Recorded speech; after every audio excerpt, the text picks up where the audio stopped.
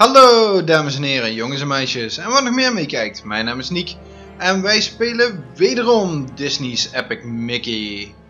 Vorige keer zijn wij hier in Tortuga aanbeland nadat we Ventureland uh, doorgespeeld hebben en iemand zijn dag verpest hebben.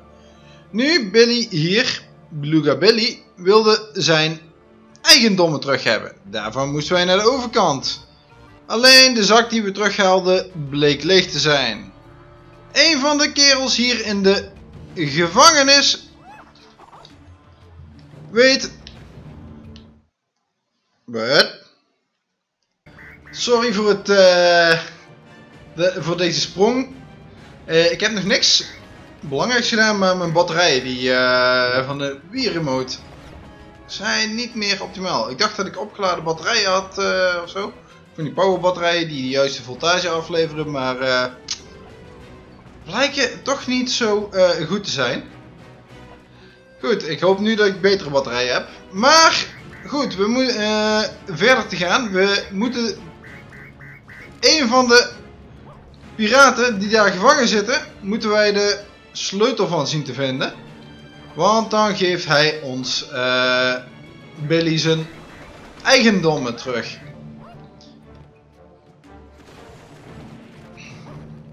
Als we maar, we hoeven er maar één te doen van uh, de drie.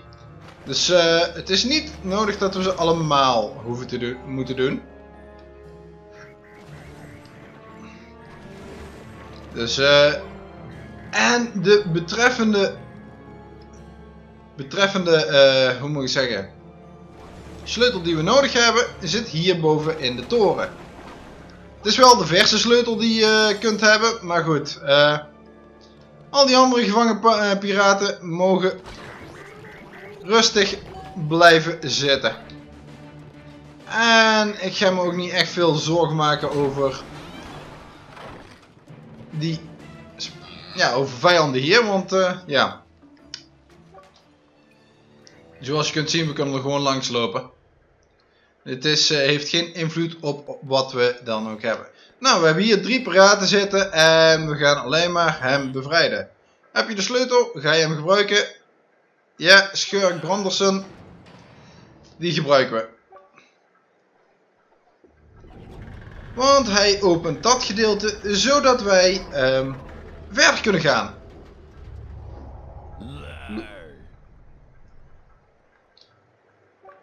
Spullen zijn voor jou. Oké. Andere piraten nou ja, zijn schurken kunnen net zo goed uh, in de gevangenis blijven zitten.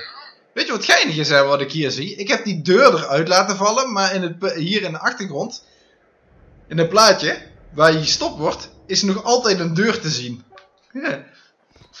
Terwijl de deur hier, als je goed kijkt, hier op, op zijn zij ligt. En eigenlijk een open gat zou moeten zijn. Maar goed. Paar inconsistenties, ach.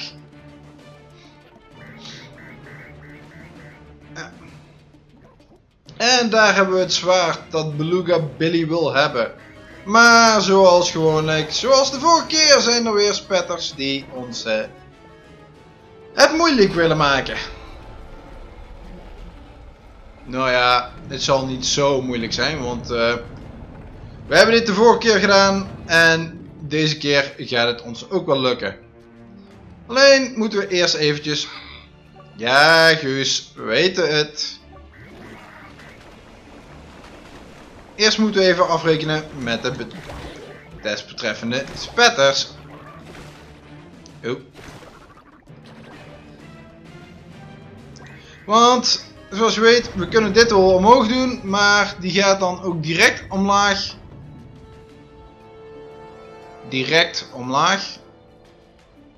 Oh nee, blijft schijnbaar nog iets zitten. Voordat we teruggaan. Maar Beluga Billy heeft ons een nieuwe schets gegeven. Een stopwatch die ons daarbij moet helpen. Uh, je ziet hier dat ik er maar één heb, maar als je deze harnassen uh, vernietigt, zul je er nog meer krijgen. Er zitten meerdere schetsen, uh, stopwatch schetsen in, dus je hebt meerdere kansen. Dus laten we dan maar dit allemaal eens weer omhoog brengen. En nergens achter blijven haken graag. En de laatste zie je dat we net genoeg tijd hebben. Want... Oké. Nou, dat zijn zijn spullen. En dan zijn we weer klaar. Uh, ja, de vorige keer uh, zag je dus uh, in dat introductiefilmpje voor die... voor de... Voor die stopwatch schets. Zag je dat daar... Hmm. Hmm. Zag je dat daar een of andere spinnende rotor was gebruikt om als voorbeeld te dienen van wat je kunt vertragen?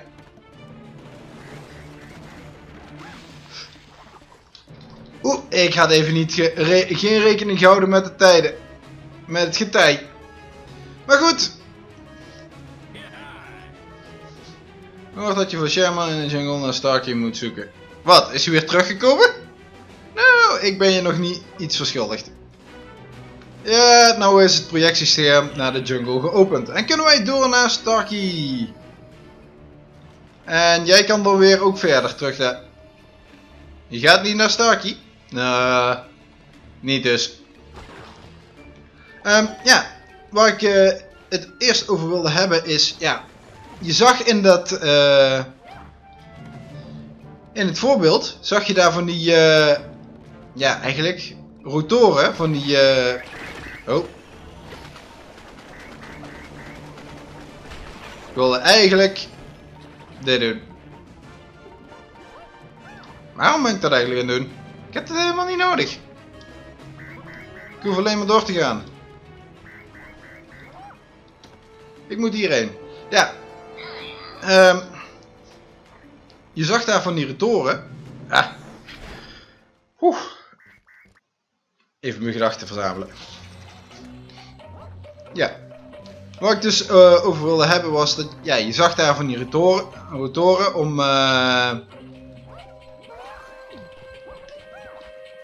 om, uh, hoe moet ik zeggen, om die te stoppen. Zodat je langzaam en er dus er doorheen kon springen. Maar eerlijk gezegd, nergens verderop in het spel kom je dit mechaniek tegen in het spel zijn we op één plek eigenlijk. Ja, nou, misschien dat je het tweede nog kunt aanwijzen.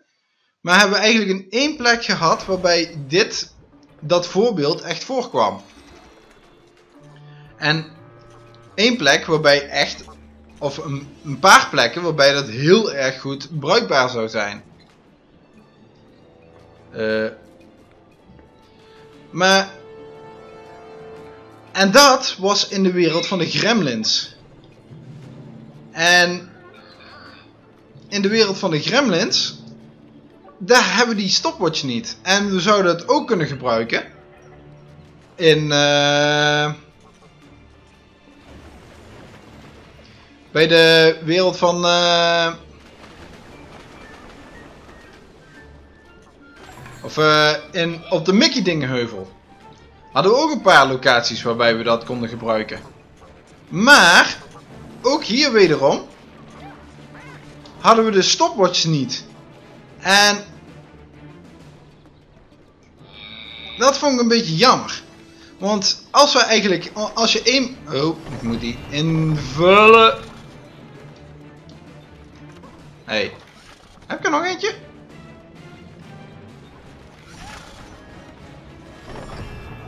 Oh ja, daarboven. Die moest ik nog invullen. Dat is nog een derde oog. Maar ja, dat zou één... Um, ja, daar zou het uh, kunnen gebruiken. En dat zou ik dus eigenlijk ook aan... Ja, eigenlijk, uh, dit is een van mijn minpunten, of een verbeterpunt. Uh, voor dit spel. Is, ja, als je, als je die dingen krijgt bij een tweede speelsessie, als je die in het begin zou hebben, had dat nog wat extra leuke dingen op kunnen leveren. Want nu als je zult merken, Ehm, er zijn vrij weinig werkelijke... Oh. Auw! Oeh. Zijn daadwerkelijk eigenlijk vrij weinig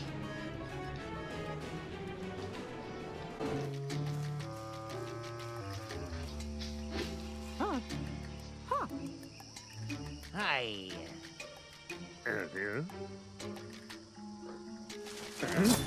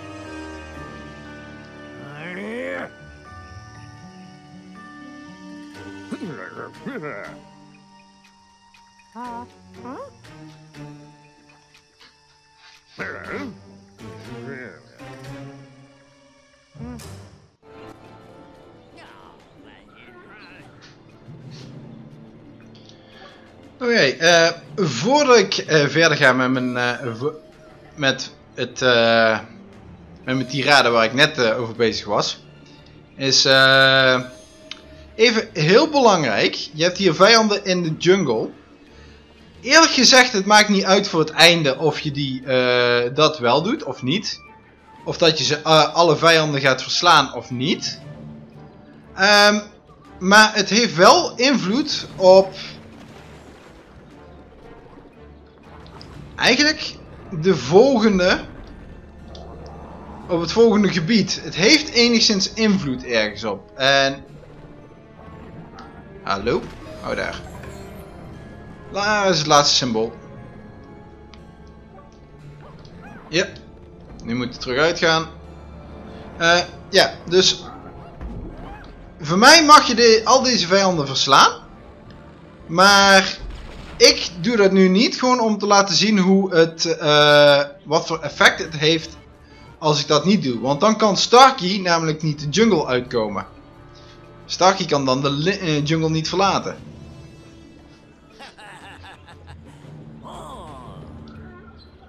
Ja, we hebben toch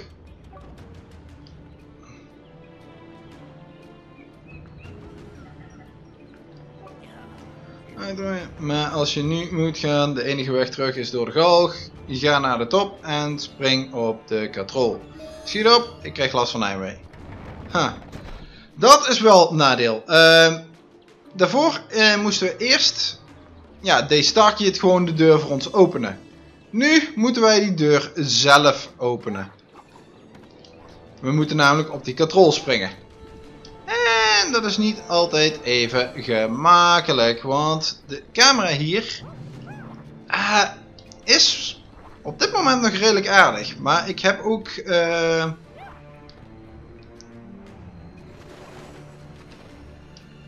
ik heb ook uh, variaties gezien waarbij dat niet het geval was. Tenminste, er zijn ook momenten bij geweest waarbij ik hier behoorlijk hard omlaag ging.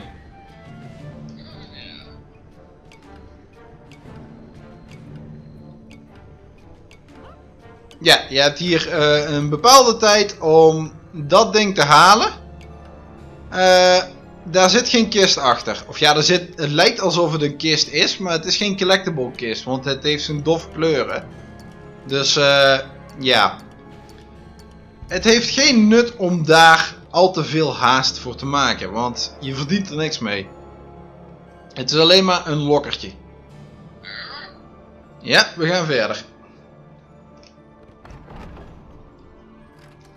Um, goed, wat ik uh, wilde uh, eerst al wilde zeggen over dat, uh, dat het fijn zou zijn als, de, als we de power-ups en die schetsen eerder, nou ja, eerder in het spel alweer terug zouden hebben tijdens een tweede speelsessie, als, we dat, als dat bewaard bleef, is dat je dan ook meer eh, collectibles weer vrij kunt geven. Of meer collectibles erachter kunt eh, verschuilen. Want nu hebben we eigenlijk al 90% van alle collectibles hebben wij al gehaald tijdens onze eerste speelsessie. En zoals je merkt, hier in de jungle hebben wij nog geen nieuwe collectible gehaald. De enige collectible die wij halen voor de jungle is pas eigenlijk,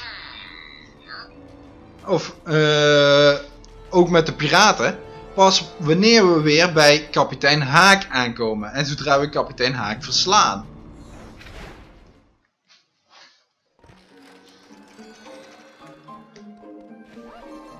Wij hebben misschien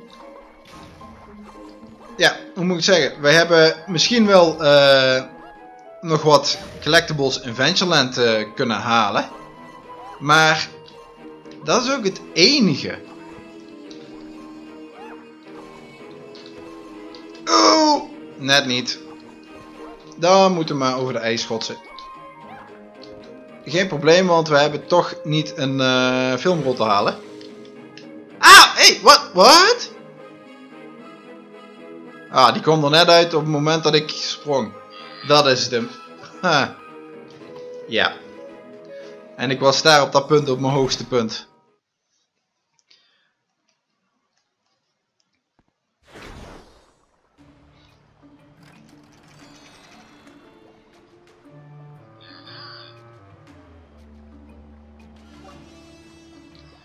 Oké, dit keer is het niet Starky die ons uh, naar het volgende verder laten gaan. Maar wederom Beluga Billy. En zoals je kunt zien, hebben we in tegenstelling tot de vorige keer, toen dit gewoon uh, een vrij gebied was van vijanden, zijn hier nu meerdere vijanden te zien. Meerdere vijanden die weer... Ja, we hebben eigenlijk die animatronische piraten die er nu zijn. En die lopen er hier een twee of drie rond. Je hebt hier ook een veger en een spetter. En...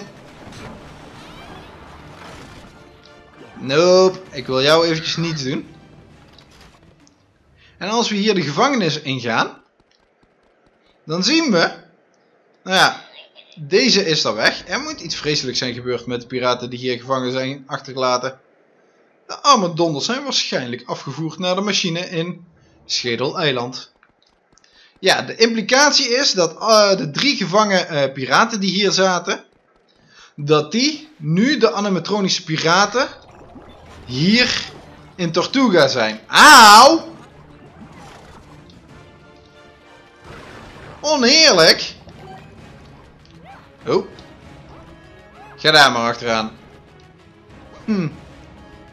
Ja. Dus eh... dat is dan de implicatie. En dit is dus wat je krijgt als je als Starkey niet uh, terugkomt vanuit, vanuit de jungle. Want, uh, ja, moet ik het zeggen? Hij is schijnbaar degene die het tegenhoudt dat al die uh, piraten naar Schedel-eiland afgevoerd worden. Maar goed, we moeten toch verder. En Starkey is niet om hier om de deur te openen. Dus is het nu op aan een Beluga Billy. Jij weer. Je hebt je zaakjes met Starkey gedaan. Als Starkey zich garant stelt voor je, is dat voor mij goed genoeg. Ik heb de schedelpoort daar voor je geopend. Daarachter ligt de weg naar Haak. Ja. Ja, dit is eigenlijk, het heeft voor de rest eh, eigenlijk geen invloed op, uh, op het einde. Dat je Starkey niet geholpen hebt. Maar ik vind dit wel weer erg gaaf. En ook dit komt niet al te veel voor. Dat uh, hoe je de zaken die je doet in vorige gedeeltes. Dat die invloed hebben op je verdere. Op het level verder als het ware. En dat vind ik een beetje jammer. Dat, dat is ook weer iets wat eigenlijk kan verbeteren. Weer zo eentje die, uh, waarbij je automatisch... Even niet. En hier moet ik wachten totdat hij juist naar beneden is. Auw. Oeh, daar moest ik. Ah, daar uh, aarzelde ik een beetje. Maar goed, we zijn er in ieder geval overgekomen. En nu komen we weer bij de volgende bootrit uit.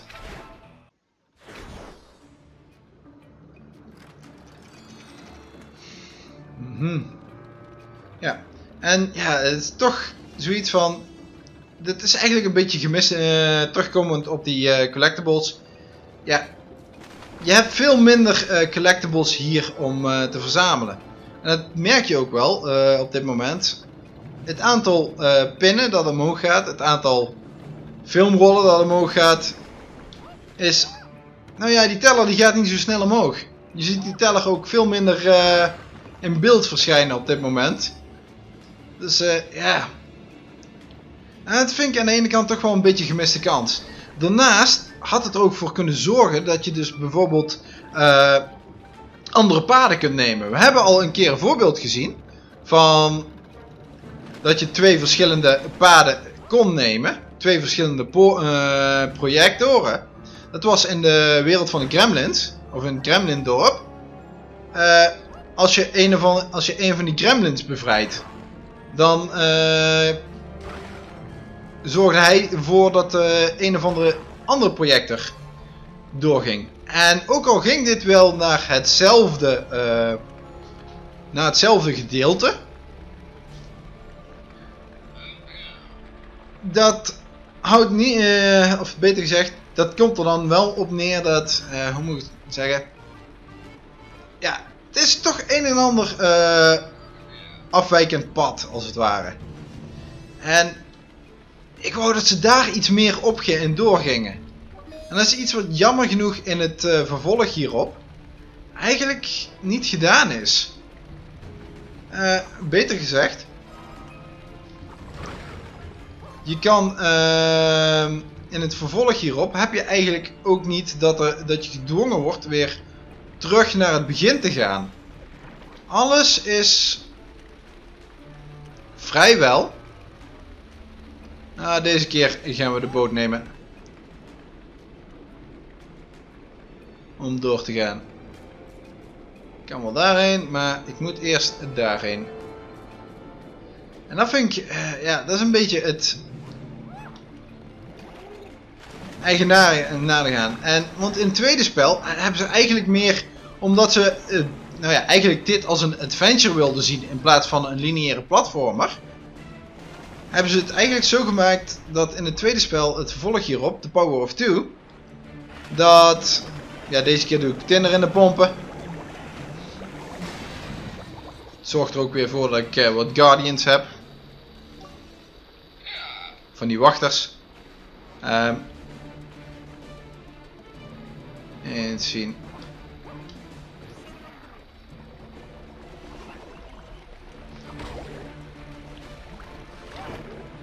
Ja. En ja, en daarin wilden ze toch doorgaan dat we meer op het adventure element uh, gaan doen. Ik was origineel, was ik ook van de mening van, hey, het werd gezegd dat het een adventure is en ja, dat was bij de eerste keer dat ik dit speelde, dacht ik ook van, dit is totaal geen adventure. Je kunt niet teruggaan, je, kunt niet, uh, je bent zo beperkt en alles.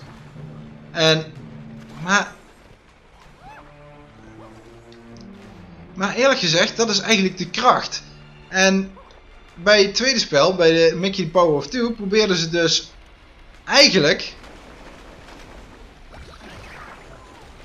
Probeerden ze daarmee de... Hoe moet ik het zeggen? Uh, probeerden ze dus meer het uh, adventure element uh, vorm te geven. En dat vond ik een beetje jammer toen het er kwam.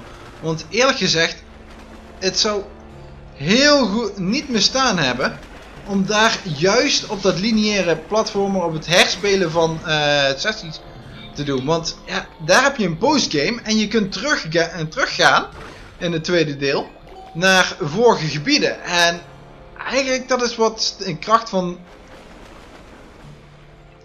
van uh, dit spel uh, eigenlijk Epic Mickey was, was dat je dus niet de deed. En dat je eigenlijk het spel weer opnieuw door moest lopen. Op een andere manier. Met wat andere delen. En... Oké. Nu is de rivier blijkbaar omhoog gekomen. In ieder geval, wij kunnen door. Want die pompen moeten toch nog vullen. Willen wij door kunnen gaan. Maar goed. Terugkomend op uh, Epic Mic 2. Uh, dat vind ik een beetje jammer gedeelte. Wat toch, uh, toch enigszins jammer van ehm, hoe dat was. Want... Hi, bye! Oh! Daar was ik bijna zelf... het haasje. Uh, ja, dat is toch wel, uh, hoe moet ik zeggen, daar, daar vond ik het toch wel een beetje jammer dat dat... Uh... Bye!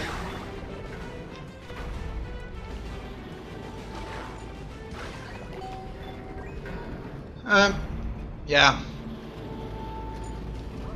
En eigenlijk wat ik zou verwachten van een volgende deel is dat gewoon je speelt het dan nog een keer door, alleen je behoudt al je power-ups, je hebt een New Game Plus. En daarmee kun je gewoon compleet nieuwe gebieden gebruiken. Dat er eigenlijk twee verschillende hubwerelden... Oeps. Dat was niet mijn bedoeling. Die wacht eraf te schieten. Oh wel. Yeah. Opletten, want... Uh, het wil nog wel eens voorkomen... Oh ja. Dat je hier... Hm. Oké, en als we hier dan... Gaan we naar Schedel-eiland. Oh ja, de, uh, deze projecten. Eigenlijk voor de filmrollen halen is deze projecten behoorlijk irritant. Want Ja. Maar goed, uh, ik was nog ergens over iets bezig. En dat is dus... Als ze, wat ik zou graag gezien hebben is dat er een tweede hubwereld is. Een, weer, tweede hubwereld waarbij eigenlijk het ene... Uh.